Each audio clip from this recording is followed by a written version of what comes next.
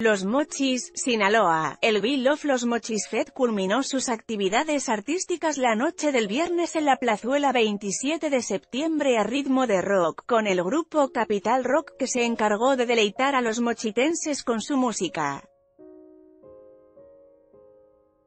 La agrupación mochitense evocó a las legendarias bandas del rock como Creedence, The Beatles, Rolling Stones, Eagles, entre otras agrupaciones que marcaron varias décadas, 60, 70, 80, con su música.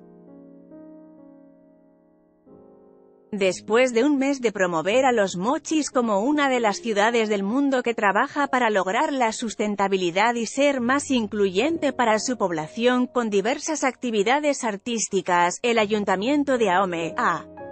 través del Instituto Municipal de Arte y Cultura de Ahome, IMAC, culminó con las actividades de invitación a votar en las distintas plataformas digitales con imágenes de los mochis para la petición del voto a la ciudadanía.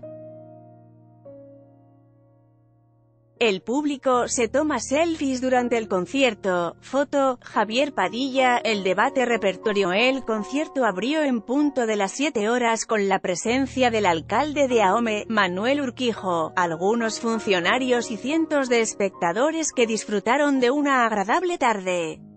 y la interpretación de grandes éxitos de The Beatles como Let It Be, o Darling, Creedence Clearwater Revival como Have You Ever Seen the Rain, Cotton Fields Proud Mary, otras de Carlos Santana, Big de Rolling Stones, Freddie Mercury y King, entre otros.